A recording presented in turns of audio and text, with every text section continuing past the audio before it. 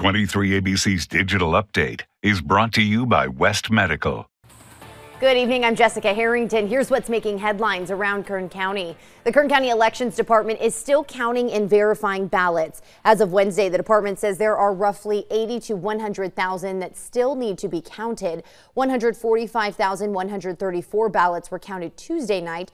Of those votes, 16,702 people filled out a filled out a, at a polling place, and 128,432 people mailed their ballot in before the end of last Friday and had their vote processed and counted. The department says there are still around 30 to 40,000 provisional ballots that still need to be verified. They are still expecting more mail-in ballots to show up. Provisional ballots are issued when either when someone either had to register to vote, change their registration, their ballot was lost or damaged, and they needed a new one last minute.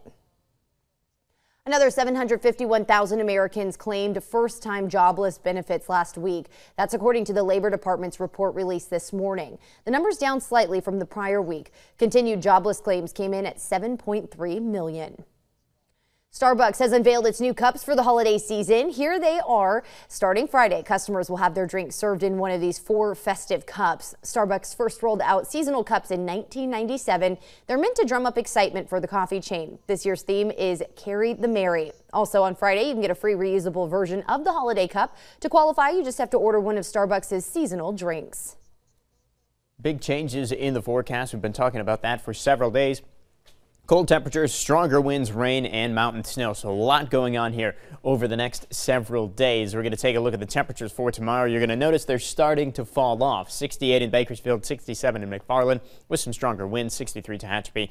Still pretty warm over in eastern Kern County. Seven day forecast. Those temperatures continue to fall. 56 on Saturday, 50 four on Sunday. Decent chances for showers Saturday into Sunday with some slightly stronger winds as well. A little breezy even into Monday and Tuesday before we get into some nicer weather closer to the 60s Wednesday and Thursday. Again, we do have the chance for some mountain snow, especially for Tehachapi and Frazier Park. Not expecting much in the way of accumulation, but could be enough to make the roads just a tiny bit slippery. And then we do warm up slowly towards the end of the forecast. That's your latest news and weather update. For the latest news anytime, be sure to log on to our website, turn to23.com.